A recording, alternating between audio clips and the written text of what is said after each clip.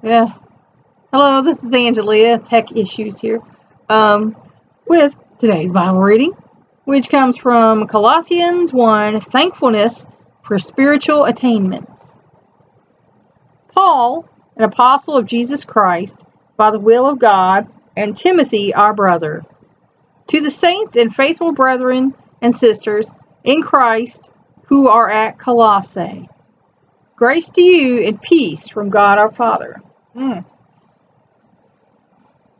We give thanks to God, the Father of our Lord Jesus Christ, praying always for you. Since we heard of your faith in Christ Jesus and the love which you have for all the saints. And that's something we should do um, for people who we love and for people who are problematic in our lives.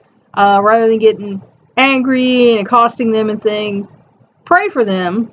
Um, and you might find out that works better. And if it doesn't, um, Jesus said, you know, to pray for those who wrong you. Um, and you're going to be heaping coals upon their head. So, you know, maybe God, God shall avenge, he said. Vengeance is mine, saith the Lord. Because of the hope laid up for you in heaven, of which you previously heard in the word of truth. The gospel which has come to you, just as in all the world, also it is constantly bearing fruit and increasing, even as it has been doing in you also since the day you heard of it and understood the grace of God in truth. Because if one person tells uh, another person about Jesus, then they might tell another person. Then that person might tell another person. And that's how this gets spread around. Um, I don't know what's going on here with my eye. Hmm. We got a little gnat in here, I think.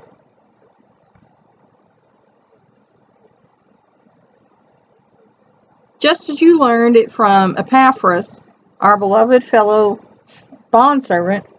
Oh my. Mm-hmm. Jeez. Who is a faithful servant of Christ on our behalf. And he also informed us of your love in the Spirit.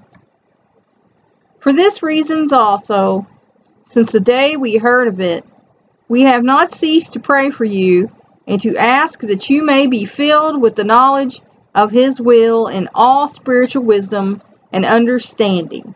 Um, and we can have that same prayer for ourselves because, you know, I want that uh, because there's a lot of things I don't know. And, you know, when you come into a decision and you're not sure what you need to decide, um, pray about it. You know, that's that's what I do. Go in there and I pray about it.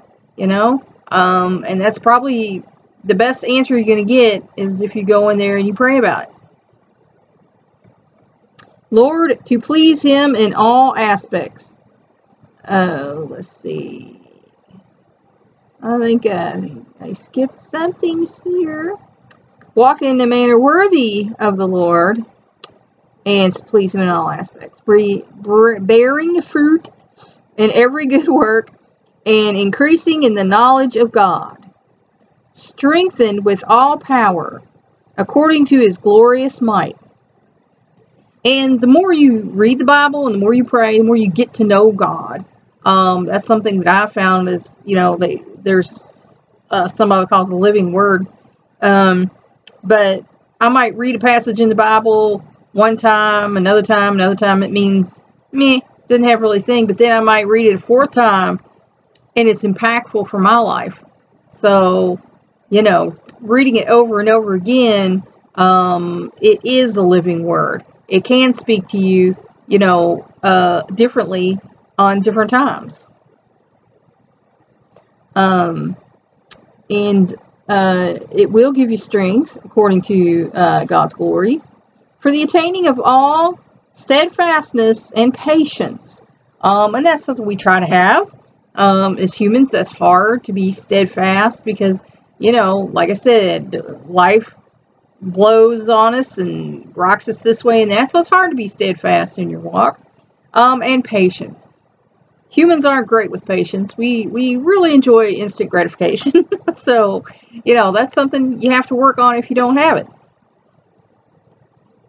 joyously giving thanks to the Father who has qualified us to share in the inheritance of the saints in light. Um, because God chose you. If you were not meant to get saved, um, there was no hope for you to get saved, He wouldn't have bothered. Um, but again, that's your choice, whether you choose to get saved or not. Um, and so I am thankful for uh, spiritual attainments because I know I'm, I'm certainly not the person I was when I got saved at age 13. I have grown in my spirituality, thank goodness. um, so keep reading the Bible, keep praying, and um, you will, you know, grow and learn more about God. Amen. That's all for now.